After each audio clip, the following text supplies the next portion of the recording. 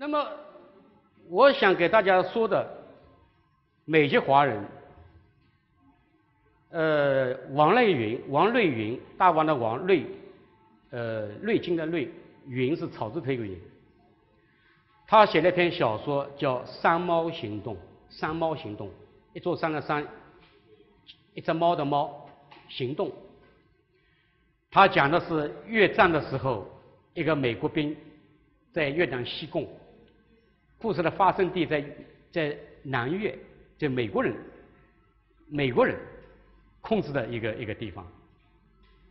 这个这个美国人呢，也叫也叫一个叫什么一个名字，我都忘记这个名字，反正就是一个美国军人，一个军官。他星期六休假的时候呢，他就跑到那个跑到街上去。跑了一个街上去的，他就随便找了一家理发店去理发。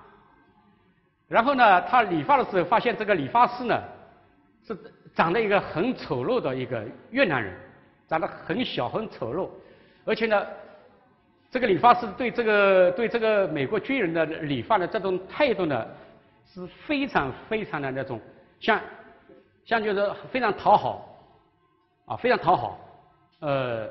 呃，就就就是说，像我们我们一般通俗的说，是故意拍马屁啊，呃，说好话啊，就想得到人家给他一点小费，是这么一个人。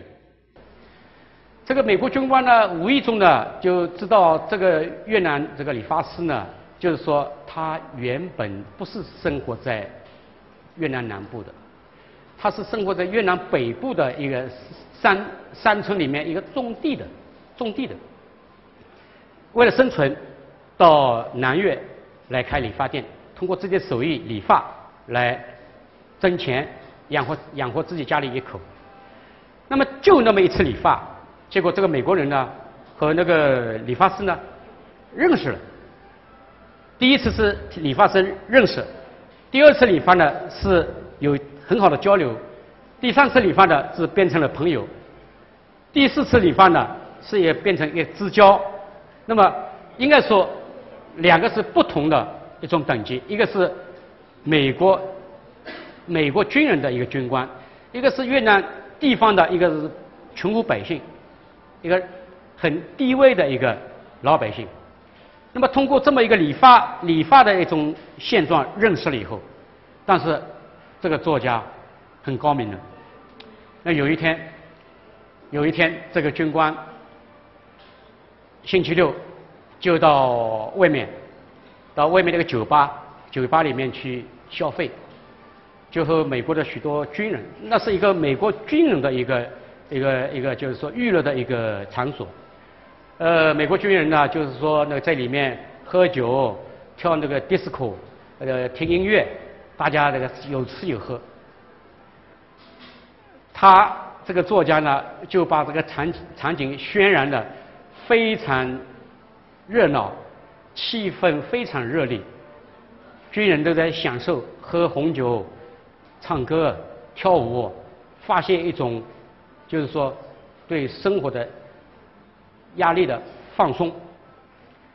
那时候呢，他就把视角转到转到那个那个娱乐场所的外面，这个理发师出现了。这个理发师长得很矮小、很丑陋的。这理发师就来到这个娱乐场所的一个非常大的一个玻璃橱窗外面，使劲的敲玻璃，隔着玻璃里面这个美美国军人没有没有听到，没有看到这个越南理发师在在喊他，在敲玻璃。这个时候他就描写这个越南人他在外面一种焦急的心态。一头汗，一头汗，他想方设法要进去，但是这不是你越南人能进去的地方，这个是一个军人的一个娱乐俱乐部，他就把这个情节刻画的，就是说非常渲染的非常就是强烈，非常紧张，非常气氛非常这个紧张的时候，这个美美国军官。终于在喝咖啡的时候，仰头喝的时候，隔着玻璃窗，哦，看到这个越南理发师在向他招手，在敲玻璃，使劲的敲玻璃向他招手。他不以为然，他觉得你找我有什么事情啊？我今天不理发，我上个星期理过发了。你要赚我钱也太快了一点了，对不对啊？我理过发，你还要敲？我今天不理发，他不理会他。但是到这个理发师拼命再敲玻璃的时候，他终于忍不住了。而且呢，他是心里面很很火的。那个时候他的什么现状呢？他正好是在喝酒喝得开心的时候，在在享受，就是说那个那个那那那种吃喝玩乐，他是在这种达到高潮的时候，他不情愿的，他出去，他出去就想说他一下，或者就说我给你几个钱，你到这里来干什么呢？但是到他走到门口，还没有和这个越南理发师说上一句话的时候。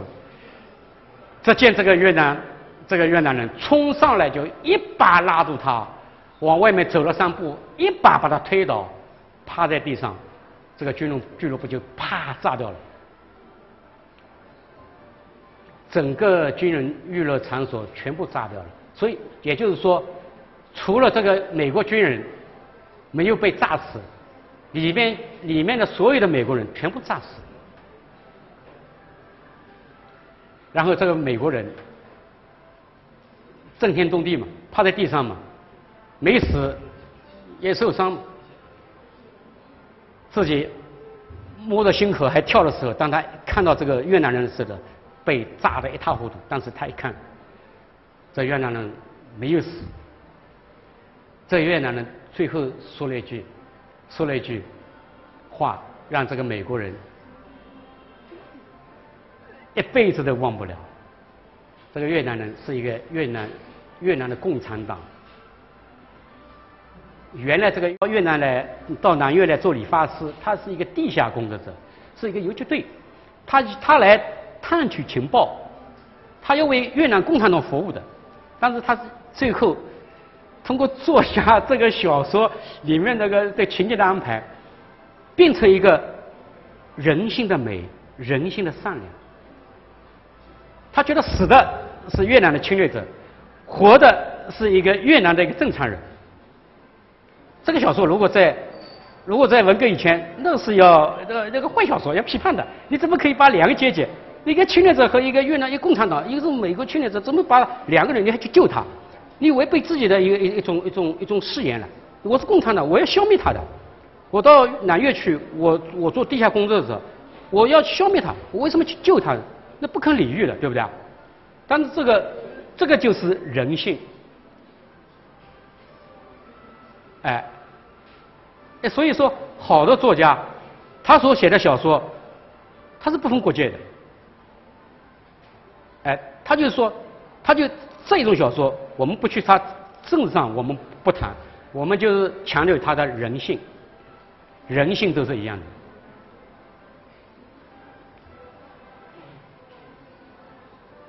那么，那么我还想说，在掌握了那个小说素材变成小说故事故事的时候，你还不能，你还不能就是说，呃，就是疏忽。这个小说这个画画龙点睛之笔，小说的标题非常非常重要的。我不知道，呃，同学有没有尝试过写小说，或者很多同学已经写过的。从我自己一种，我的一种个性来讲，我是先定标题的，我是先定标题的，我是我是把标题作为我的一个小说的整个一条思路的，它的一个目标。我为什么把这个标题看得那么重呢？因为一个好的作家，这个标题肯定是。一个小说的它的一个最出彩的一个一个方面。如果一篇小说很精彩，一个标题一塌糊涂，首先一个读者看的时候，哎，这个这个小说，嗯因为他没有看之前，他肯定先看看标题，哎，标题吸引人了，他要看；标题不吸引人，看到后面精彩，那就他觉得，哎呦，这个这个作家这个标题不应该这样写，应该换一个。这个是很多读者都有这种。都有这种想法。那么我为什么要要说那个小说标题很重要呢？我给大家讲一个，也是那个作家，也就是刚才讲的放放牛放羊那个作家叫王新军，他写了一篇小说给我，讲了什么故事呢？讲了一家子父亲和五个子女发家致富，摆平了五个子女的这种一种私欲，出钱种西瓜。最后，西瓜成熟了以后呢，大家在分配的问题上呢产生了矛盾，最后演演绎成了一个一个悲剧，悲剧。那么这个这个作家当当时给我来给我寄稿子来的时候呢，他的小说的名字就叫《进城卖瓜》，进城卖瓜。你说他错吧？也不错，因为他整个故事就就想啊就讲。这个一家人家在他的父亲带领带领下，把他的五个子女都教育好，最后大家就出钱出力，那个种西瓜，那个到最后收成，收成以后进城去卖西瓜，然后卖了钱。那你说这个进城卖瓜，这个标题你说你说你说不好，或者说不落体，那也不对。那还是进城卖瓜还是可以的。但是我对这个进城卖瓜呢，我是我是。不赞成的，我觉得这个这个标题呢太普通了，这个太平淡无奇了。你这进城卖瓜，你这个说什么呢？进城卖瓜太，因为他这个他这个整个小说是一个悲剧，你不能说进城卖瓜。他说的什么呢？就是说他五个子女，三个儿子两个女儿，就是光想得到不想付出，大家就得过且过，五个人都过得很穷，又懒。结果这个父亲呢，就提出来要发家致富，社会变革了嘛，懒惰是没有好的下场的，只有勤劳。这父亲后来就是说，五个家庭开会，就是说，大家平均每户人家出多少钱种西瓜，对吧？大家一起一起这个出力，到西瓜收成了，那么要。把这个西瓜用在用在这个大板车上，拉到城里去卖瓜的时候发生车祸，发生车祸，结果他的父亲死掉了。他父亲就是去城里面卖瓜的路上发生车祸死掉了，就讲那么一个故事，很悲惨的，很凄凉的。那么我就跟王继军，我就跟作家说，我说你这个小说很有意思，我说我能理解，你就是想写，你就是想。想写就是说和谐社会的重要，对不对啊？你不和谐了，你钱再多，对吧？你不和谐，家里面子女都不孝顺，大家都都不友爱、不友善，你有钱多了怎么用？对吧？只有和谐了，然后他才有好日子过。那么我说你这个名字改一改，我说你这个京城卖瓜太一般了，我说你改一改。那他说好，他说徐老师好，改一改。电话挂了以后，两分钟，一个电话打过来了。他说：“徐老师，我改好了。”我说：“改好什么？你说我听听。”卖瓜。他说：“卖瓜。”我说：“卖卖瓜也不好。”我说：“卖瓜也太太一般了。”我说：“你进城卖瓜和卖瓜有什么区别呢？这个去掉两个，去掉两个省略两个字嘛。进城，进城卖瓜和卖瓜。我说没有，你没有突出，就是说。”你的你的就是说画龙点睛的地方。我说你你你再想想，这卖瓜不行的。我说你再想想，他又说哦，我再想我想想，这一想想了十分钟，给我打电话来，他说徐老师，我我想不出了，他我想不出了，他说你给我想想吧。那我说好，我说你第一，我说你要授权给我的，我不能乱给作家的这个文字的，你授你授权给我改，那我说我我乐意帮你改。我就答应了，但是我嘴上答应，我心里面还是忐忑不安的。就是说改要改的，但你要改错，真的要让他让让他满意的，也不能进城，也不能进城卖瓜。你要改成一个其他的，其实我是一时性格开，我说改改改，其实我心里面也吃不准的。那么我还是很仔细的，又把这个小说看了两遍。而突然我这个字眼就跳出来了，种瓜得豆。哎，人家说种瓜得瓜，种豆得豆，种瓜怎么会得豆呢？哎，我觉得，哎，这个种瓜得豆有意思啊，这个这个有意思啊。哎，种的瓜得得豆，那我就我就打电话过去，哦，盖好了，盖好了。他说什么？我说，呃，种瓜得豆。哦哟，一拍一大腿，太好了，太好了，太深刻了，太有思想了。他说了三个太，啊，那我觉得他既然这么说好，那我也我我也我也就我也觉得满意了嘛，对吧？这个作家他说他说我把他改的好，那我也达到目的了嘛，那就叫种瓜得豆。那所以我今天给同学讲的，就是说，千万不要小看这个标题，这个标题太重要了，太重要了。你有一个好的小说标题，你顺着这个，你不能顺着小小说这个标题几个字去去写，那是那不行的。你要顺着这个小说里面这个小说标题的意思，它里面包含的一种思想，你顺着这个思路去写，那这个就写写的好了。你这个就这个就写的很好了。那么我再想讲的就是说，素材来了，你怎么把握？那把握有很多具体的，有了好的标题，好的标题，你具体写作的时候，你小说的结构怎么写？你小说的语言怎么写？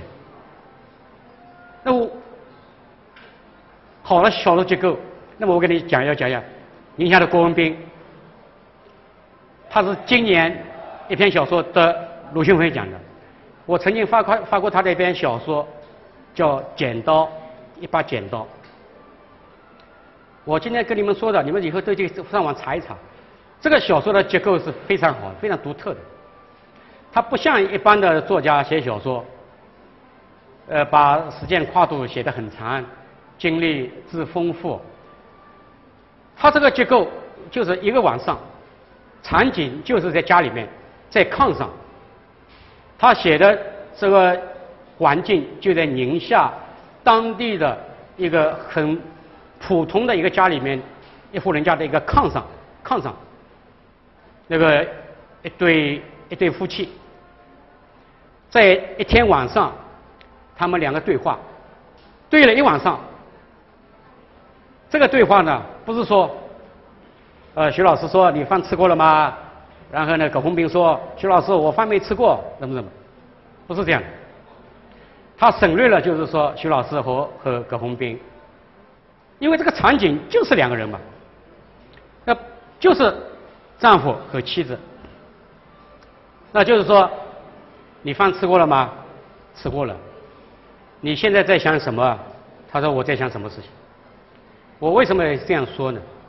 现在有很多写作者，他对这个对话、这个语言太啰嗦，太啰嗦。